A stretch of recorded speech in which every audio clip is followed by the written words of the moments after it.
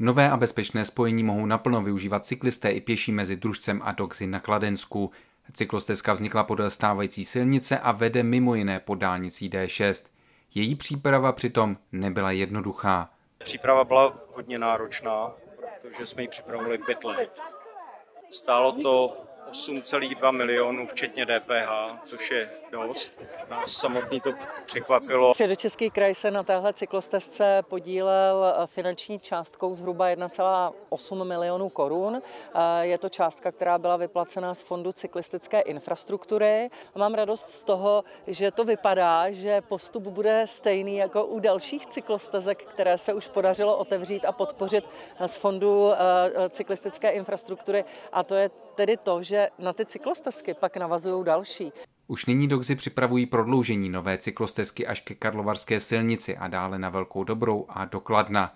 Na část z nich už mají zajištěné i financování a mohou tak soutěžit dodavatele.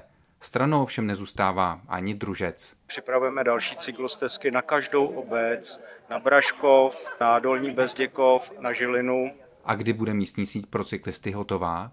Já si to nedovolím říct a řeknu, do deseti let by snad mohla být. Byl bych rád, kdyby to bylo za dva roky, ale to, to, ne, to je nereálné. Kraj navíc připravuje napojení mezi Rakovníkem, Křivoklátem a dále na Nižbor.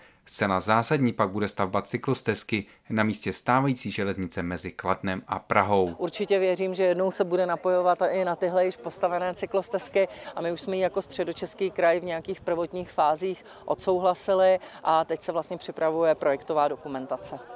Cyklisté se tedy od Prahy západ přes Kladensko a Rakovnicko mohou těšit na výrazné zlepšení infrastruktury a tedy na bezpečné a pohodlné propojení jednotlivých obcí nejen pro turistiku, ale i každodenní dopravu například do školy nebo do práce.